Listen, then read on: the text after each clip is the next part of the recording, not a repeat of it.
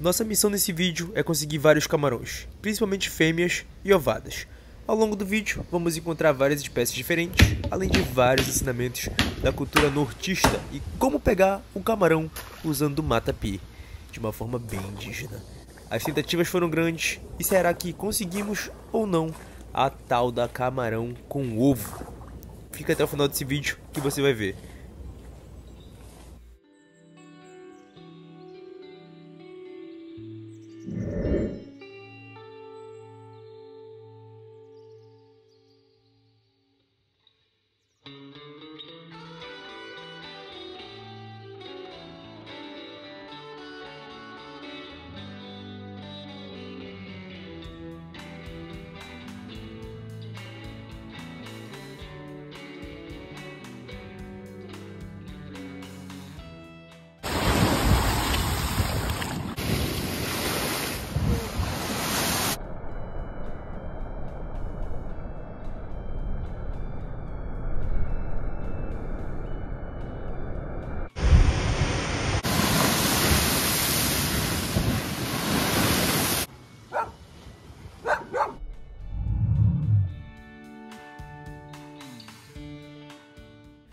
Bom, e já chegamos aqui na praia do Maraú, na ilha de Mosqueiro, onde meu tio tem um pequeno terreno que tem alguns açudes, e nesses açudes dão alguns camarões. Então eu já corri logo, né, e já peguei um pulsazinho para ver quais espécies de animais a gente poderia conseguir aí nesses pequenos açudes. E cara, consegui encher um balde rapidinho com alguns camarões do da espécie Acanthrus pro nosso teste.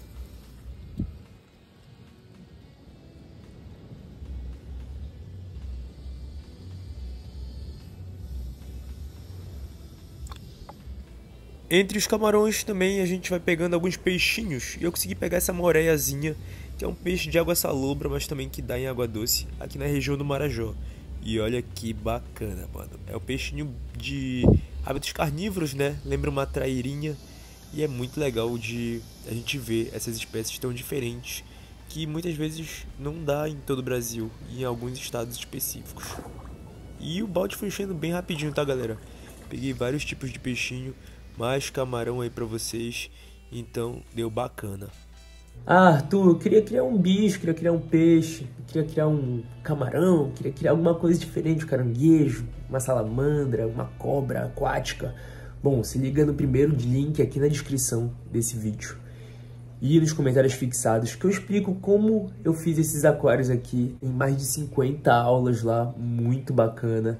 Então, não esquece de clicar aqui no link caso você tenha interesse e como criar um aquário estavelmente, falando sobre água, pH, é amônia, tudinho, falando sobre os peixes, falando sobre as espécies de peixes e muitos aquários, como aquário aquário 100% com água, aquaterrário, puladário. Então eu explico tudo isso nessas aulas. Se liga aí e acessa nós que tá muito bacana. Bora pro vídeo. Aproveitando aí para fazer uma broquinha, comendo um palmito de açaizeiro. É, pô, eu dou valor, hein? E esse aí é um fruto bem bacana da nossa região que é andiroba. Tem propriedades medicinais e cura muita coisa. Até braço quebrado, dizendo a minha mãe. E bom, nos açudes a vida só explodia. A gente encontrou várias espécies, como esse chama maré, que é um caranguejinho bem bacana, de hábitos semi-aquáticos mas ele precisa respirar ar atmosférico para sobreviver. Mesmo dentro d'água, ele precisa subir para respirar. Olha ele se alimentando dentro d'água, uma fêmea, né? O macho é diferente, o macho tem garras bem grandes em um dos lados, como esse carinha aí, que vai se esconder da gente, obviamente.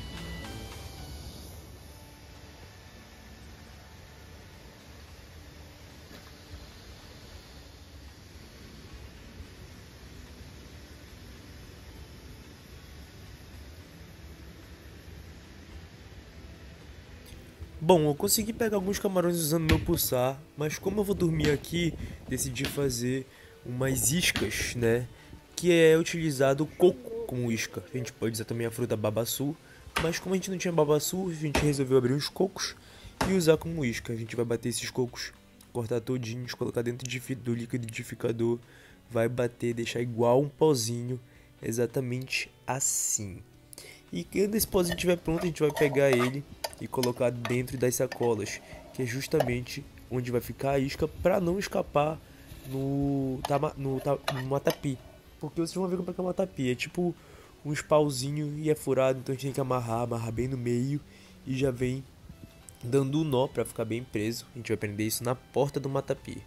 Também com uma é, garfo, né? A gente vai furar para o camarão sentir o cheiro aí do coco saindo pela sacola. Pode ser usado também é, folha de bananeira, tá galera? Mas como a gente não tinha, acabou usando a sacolinha aí, simples e fácil. E usa um dos lados para prender na, na parede do matapi e o outro para prender na parede da porta. Assim fica mais fácil quando a gente for abrir, já tira logo a isca junto. E o matapi é bem bacana, porque os indígenas já usavam essa isca, essa armadilha, né? O matapi é bem simples. Fechou aí a portinha, já era, fica preso. O camarão entra aí por esse funil, só que não consegue sair, porque fica preso na parte de dentro. Então acaba pegando muito bicho legal. Camarão, mussum, piramboia por aqui, jacundá, cobra também aparece, vários animais podem ficar, podem cair aí nessa armadilha. E de manhã de manhã a gente já vai ver como ela vai estar. Tá. Tô colocando mais ou menos em torno das 3 da tarde. É muito sol, eu sei, mas já fica pra noite aí, pra madrugada toda.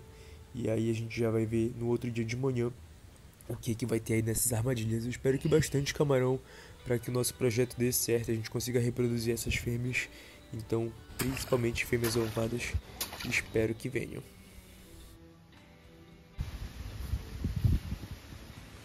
Bom, então o que acontece?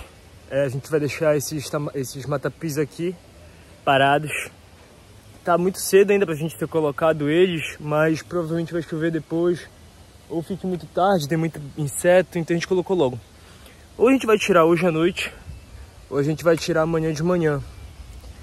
De noite eu vou, vou, eu vou vir ver, mesmo que não vá tirar, eu venho ver. Mas eu prefiro tirar amanhã de manhã para ele dormir aí e os peixes noturnos entrarem com mais eficiência e a gente conseguir pegar. Principalmente os camarões ovados, que são a nossa, o nosso alvo.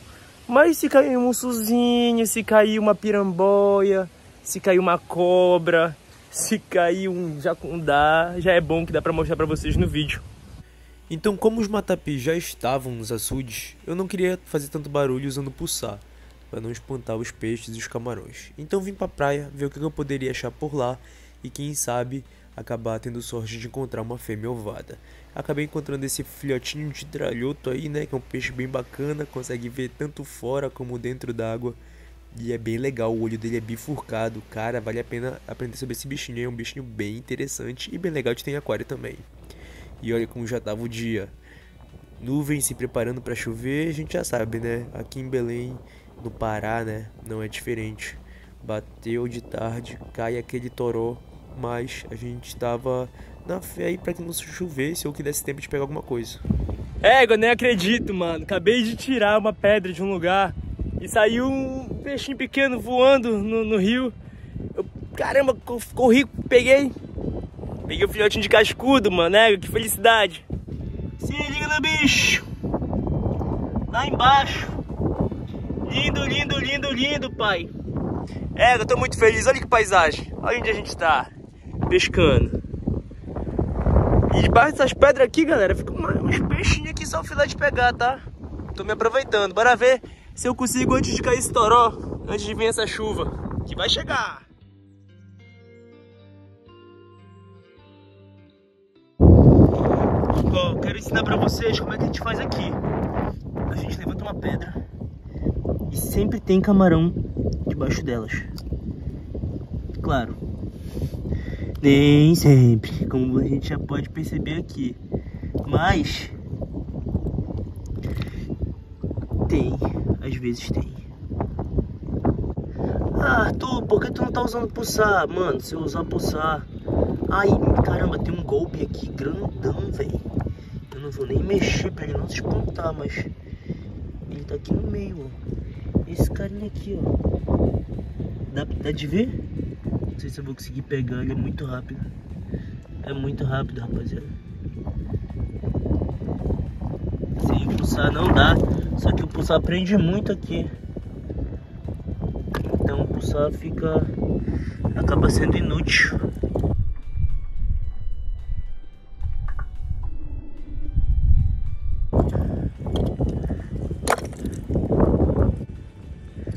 Ó, alguma coisa que tá correndo. Deixa essa água sentar que a gente pega. Aí, rapaziada, peguei finalmente a fêmea ovada. Infelizmente não é da espécie que a gente quer, mas é de uma espécie bem interessante quanto. É a segunda ovadinha que eu pego. Isso aqui não é camarão não, tá galera? Isso aqui é lagostim, cara. Bem interessante, né? Bora ver se a gente consegue também colocar na lista de espécies que a gente consiga reproduzir, né? Pô, e a gente sabe, né, qual é a dificuldade de criar camarão em cativeiro tudo mais. Muito pouca informação, a galera que já, já faz isso também não divulga, né? Porque é dinheiro, né, galera? Camarão é dinheiro.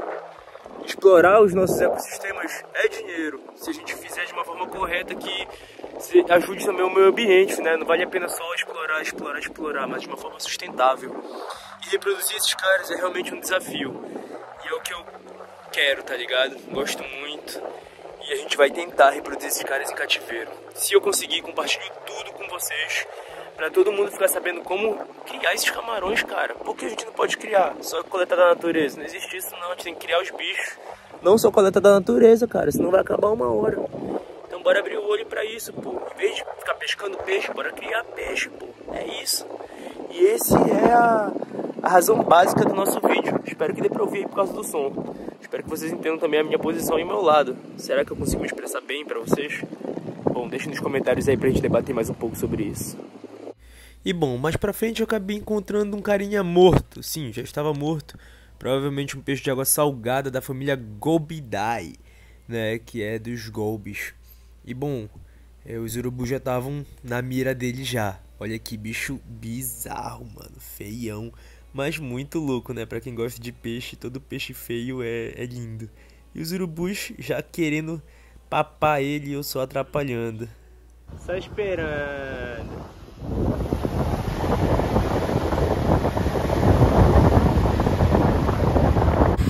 Se liga, galera, esse aqui é outro, tá? Que eu vi na praia. São outros urubus, ó. Primeiro, urubu. Esse aqui é outro peixe da mesma espécie. Acho que é um golbe. O que aconteceu aqui, que acredito que aconteceu aqui, é que aqui é água doce, mas tem interferência de água salgada. Quando dá água salgada, esses peixes acabam parando aqui. Só que não conseguem mais é, se difundir na água doce, né? eles acabam indo até o, os últimos os últimos momentos na água doce, não conseguem voltar para água salgada e morrem. Tem, tem várias hipóteses, mas eu acredito que ou para desovar ou para alguma época eles acabam entrando aqui nessa bacia e aí não voltam pro oceano e acabam morrendo aqui na água doce. Por algum motivo isso pode acontecer, tanto alimentar, tanto acasalamento, tá entendendo? O acasalamento dos mangos, acontece muito, galera. Então, tem vários motivos aí não dá pra saber qual que é o certo. Fala galera, mais uma carcaça aqui ó. Olha lá. Parece ser um peixe maiorzinho. Ver se a praia vai trazer pra beira. Eu acho que não vai. Bom, eu não vou pegar, tá ligado? Olha lá, é um bagre, é um bagre. Parece ser um mandizinho, ó. Eita, morreu engasgado, hein? Tá tufado. Ou já tá saindo os gases já dele, mas é um mantizinho. Deu pra ver já o que é, magrezinho. Então é isso, né, galera? Olha a cabeça. É a natureza. Terceiro peixe morto que a gente encontra, tinha até um carcará. Ele tá lá pra frente agora. Mas ele tava aqui de olho nesse bagre. E os urubu aqui, ó. Terceira gangue de urubu. Urubu não falta, tu é doido, é? Mas bora que a gente tem que chegar com os nossos camarões. Estão todos aqui, partiu. Ó, se liga, quanto já tem? Tem uma quantidade bacana já. E mais os lagostins. Cascudinho.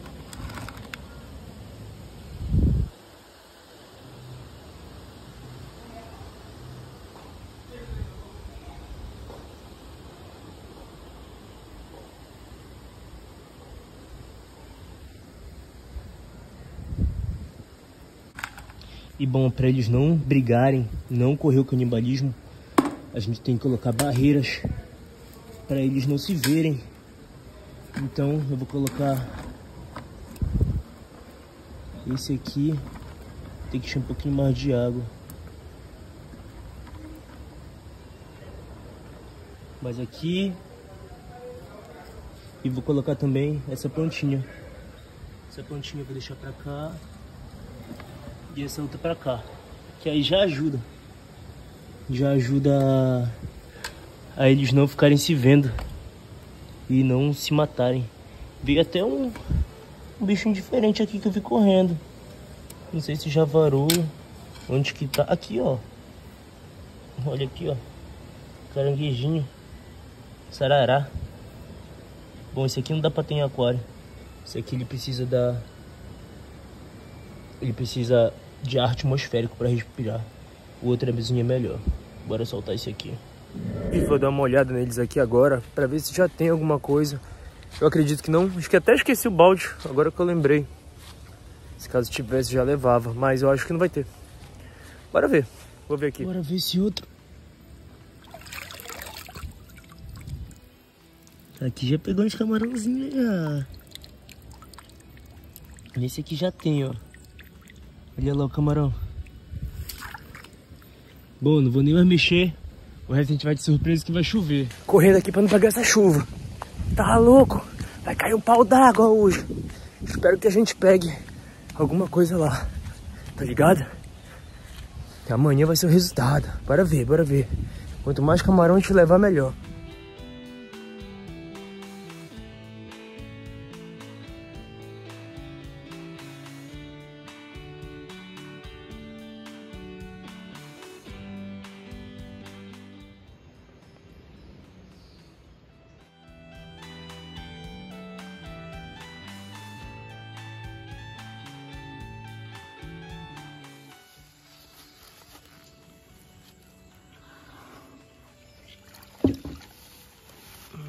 Aqui, ó. Deixa, deixa eu tirar aqui, desamarrar.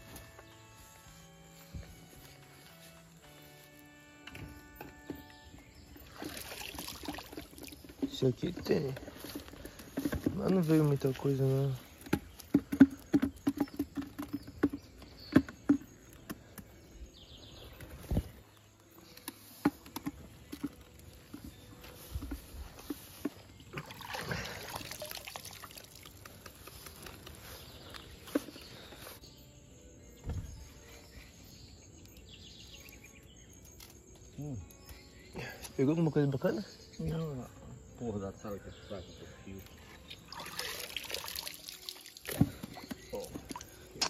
Pior que viu. Pouca coisa.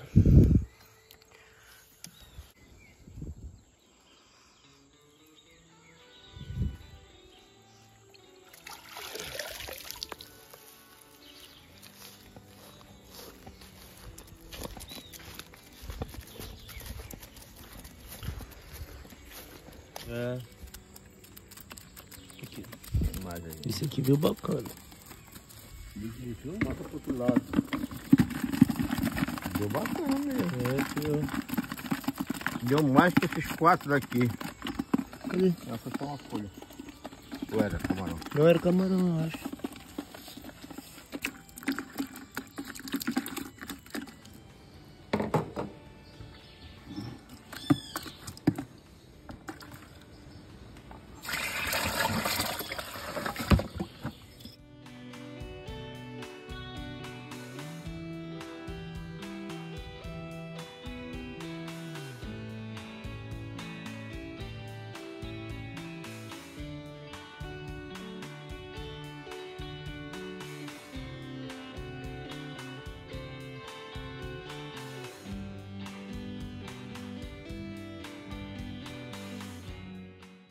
Bom, com os camarões já nos seus recintos, com a aclimatação feita corretamente e a troca da água, né? Daquela água barrenta para uma água mais tratada com biologia, a gente pode ver se a gente consegue enxergar alguma fêmea com ovos. Já vi que temos e vamos tentá-las reproduzir em cativeiro. Vamos ver se vamos conseguir. Isso você pode acompanhar nos próximos vídeos. Então deixa o like se você gostou e se inscreve no canal caso você queira ver mais vídeos como esse. Muito obrigado e até o próximo vídeo, pessoal.